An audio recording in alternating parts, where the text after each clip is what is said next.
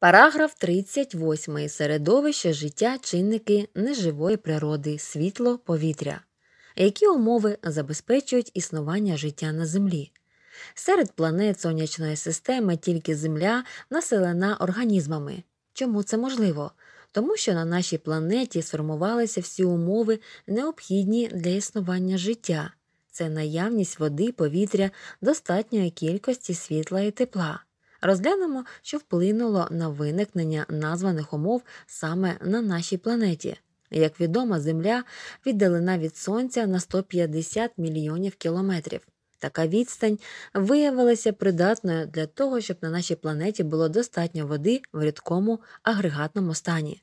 Учені вважають, що якби наша планета перебувала на кілька мільйонів кілометрів ближче до Сонця, то вода перетворилася б на пару, а якби на 10-15 мільйонів кілометрів далі, то Земля вкрилася б льодом.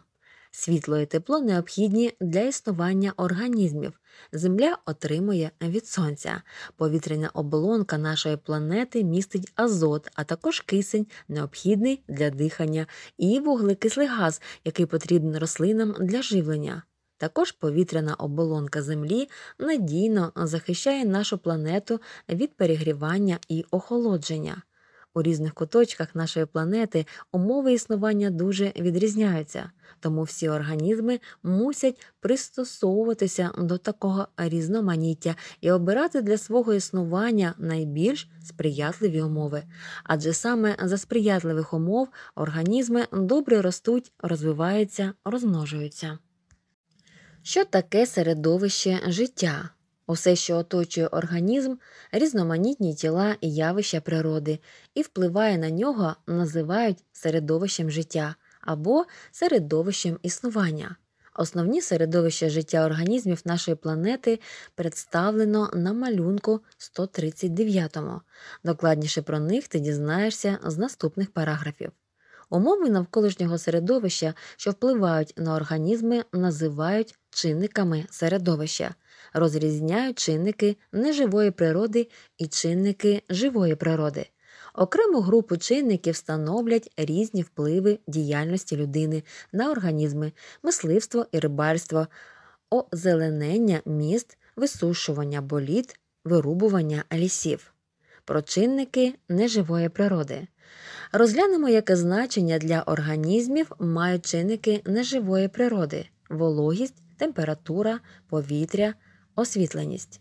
Вологість повітря і ґрунту має важливе значення в житті організмів, адже вода потрібна всім істотам на землі.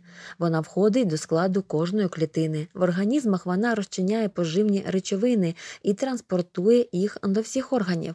А для багатьох організмів вода середовище життя. Температура є важливим чинником поширення організмів на землі. На полюсах планети, де тепла мало і панують низькі температури, живих істот майже немає. З наближенням до екватора температура підвищується і кількість живих істот зростає.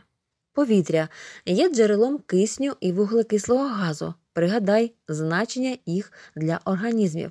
Для існування рослин, тварин і людини важливо, щоб повітря було чистим, тобто не містило речовин шкідливих для здоров'я у великих містах поблизу автомагістралей, деяких заводів і фабрик у складі повітря містяться шкідливі речовини. Їх надходження в організм здатне спричинити небезпечні хвороби людини, тварин і рослин. Світло потрібне для утворення зеленими рослинами органічних речовин, а без них, як відомо, існування більшості організмів нашої планети було б неможливим. Про те, як світло впливає на ріст рослин, ти вже знаєш з досліду, наведеного на сторінці природодослідника в параграфі 2, дивись сторінку 13. Багатьом тваринам і людині світло допомагає краще орієнтуватися в середовищі життя, зокрема, розрізняти предмети. Як організми пристосовуються до різного освітлення. Освітленість важливий чинник неживої природи, але різним організмам потрібна неоднакова кількість світла.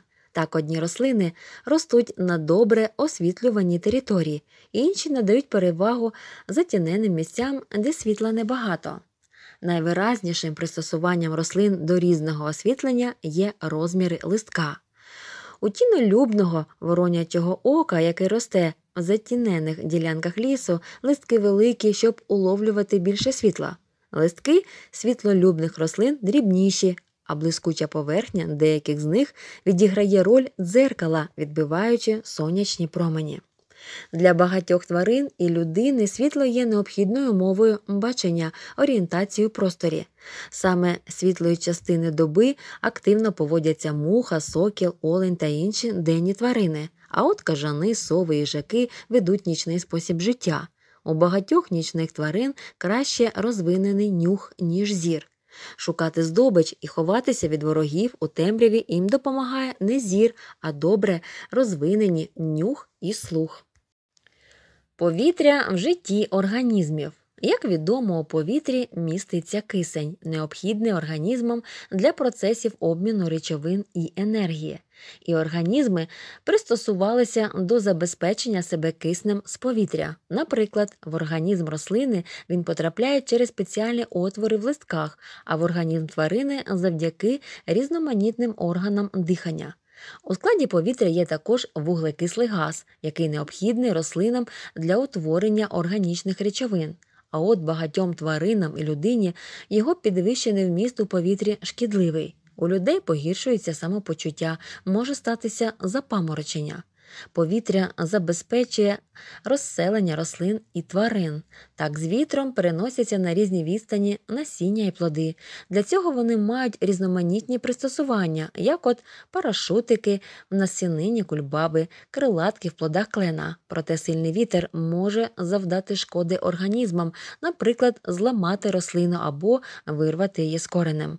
Запобігти цьому допомагають міцний стовбур у дерев, гнучкі гілки в кущів, розвинений корінь. На землі є території, де постійно дмуть сильні вітри, тому рослини цих територій невисокі або мають подушкоподібну форму. Вони ніби притиснені до поверхні, що допомагає їм витримувати дію вітру.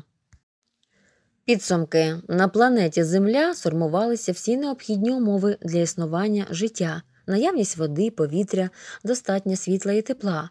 Середовищем життя називають усе, що оточує організм і впливає на нього, розрізняють наземно-повітряне, водне і ґрунтове середовище життя.